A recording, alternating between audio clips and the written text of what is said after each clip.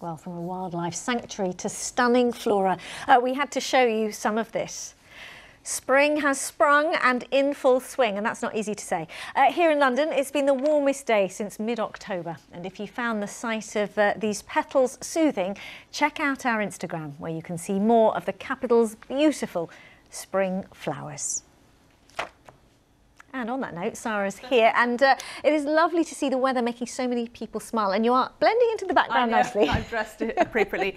Five months and three days since we saw anything as warm as today, 21 Celsius, 20.5 actually it was, out towards Northolt, west of London, but yeah, round up to 21 degrees, that's what we saw at the peak today, and as Riz rightly says, wow, isn't it just absolutely stunning out there? Not only is it warm, of course we have those beautiful blue skies setting the blossom off nicely, but we didn't all all get to 21 degrees. Just wanted to point that out. If you're out towards the east, just along the coast, yeah, it was a little bit cooler and fresher here. But the average daytime high at this time of year is somewhere around 11 or 12 Celsius. So we did pretty well. However, it's my favourite time of the year because I get to use the phrase diurnal spread, which is that kind of swing from day to night. And yeah, look at this, down low enough for a touch of frost into tomorrow morning in our sheltered suburbs. But a beautiful, beautiful day again tomorrow.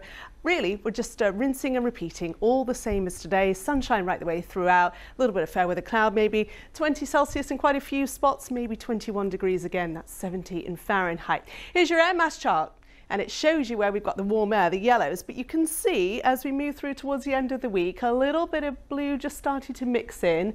So we're not going to sustain those temperatures, although it will be another nice day on Thursday. A little bit of mist and fog potentially first thing on Thursday morning. Just watch out for that. But then a cracking day once more with those blue skies and temperatures certainly up into the high teens. So we are well above average for the time of year. But I do think tomorrow is probably going to be the peak of it. And the reason is because high pressure is in control of our weather. So we're settled, but it sort of slightly drifts a bit further westward, cuts off that very, very warm air supply. But it does keep us nice and settled for the next few days couldn't sustain it all the way throughout there. You see there is a slide off in the temperatures into the first half of the weekend particularly. Then we start to pick up a bit more in the way of cloud and then just as the clocks go forward to start British summertime on uh, the early hours of Sunday morning, Sunday evening we'll have sunset around half past seven but things are turning cooler and I have to say look at that massive jump off in temperatures at the start of next week.